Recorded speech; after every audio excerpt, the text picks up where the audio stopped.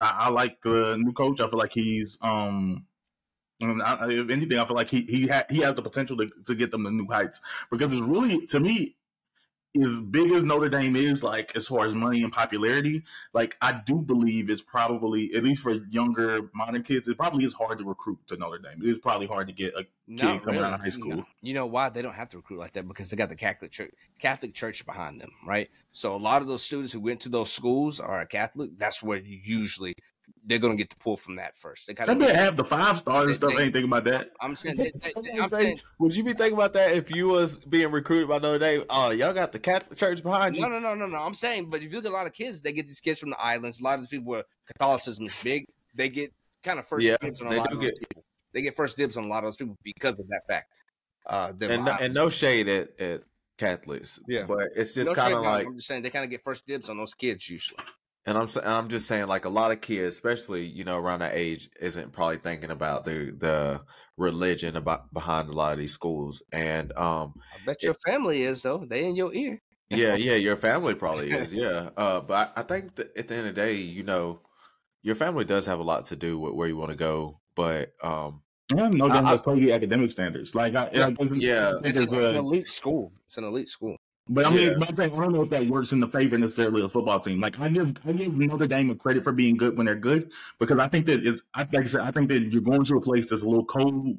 Like you know, is, is the the weather's not great. The campus is apparently beautiful from people who visit it, but like I just don't like I don't know if they have like the the the culture of fun. You know, because Notre Dame's like sort of gritty, hard nosed. You think of Rudy, like all, all these these types of things. Like I don't know if that necessarily goes well with uh like most kids from this generation. Even though I mean they they know they have plenty of like offensive linemen and like running backs and stuff in the league. I'm not gonna say that they haven't and linebackers. Like I'm not saying that they don't figure it out, but I do think that like schools like Notre Dame, Stanford, um, BYU, like I do think they have a little bit to overcome in the recruiting game. Not Yeah. really. Not when you have. I, I, I don't. I- I'll I'm say just talking that. about top Our opinion is our opinion, but I will Mhm. say, religion does come into play. You see, by BYU, a lot of those kids are Mormon, so they're going to be more inclined. So if you're a five star and you're Mormon, you're more inclined to want to go to Utah or How many BYU. times you raised the idea, Tom?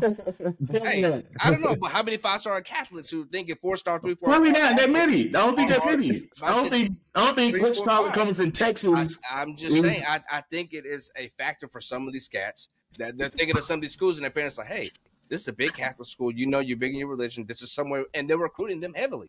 They know, oh shit, we got a we got a chance out of this Catholic school or modern day up here or the Mathis or some of these schools, not the Mathis, uh, what's another uh, Saint whatever.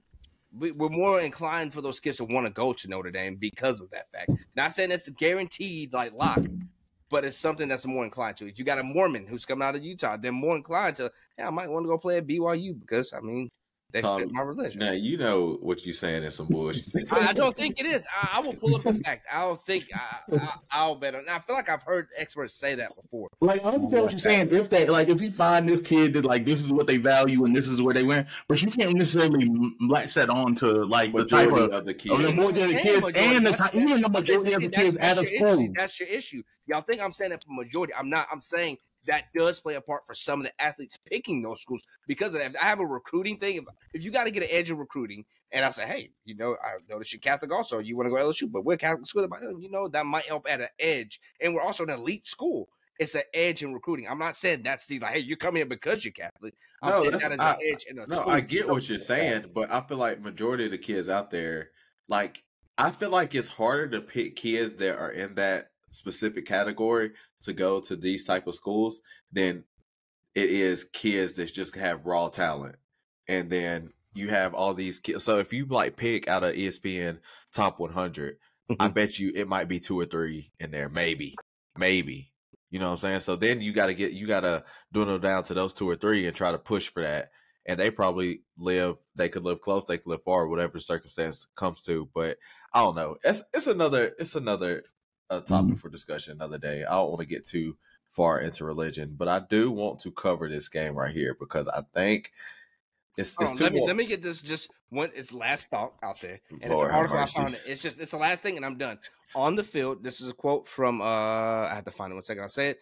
On the field, recruiters for Notre Dame have long looked towards Catholic high schools for the next wave of fighting Irish talent. That's all I want to say. They do look for that. That's like where you- if you're gonna. I mean, it comes into play. Yeah, we're saying like it comes into play, but majority, I feel like majority kids don't. I, I'm not, I'm, not they can't talking have the high I'm just saying that is Yeah. something that is something that they're looking. There's a lot of great. Look at some of the top schools in the nation in Maryland and uh, I know California. There's a lot of Catholic schools that are like top ten. There's at least two or three that are in the top ten. Yeah, like John Bosco and Mater Dei, but I don't think that's why I don't like. I don't just because the school is. I don't think that the, like I think that those are just better schools. Like I don't necessarily think just because you go there you have to be like DJ Uyunga like went to uh, John Bosco and I'm pretty John, John Bosco was a private Catholic school, but he's not Catholic at all. Like he just You know you know it's just a football you, you recruit. talk to that man? You talk to me? Know his religion?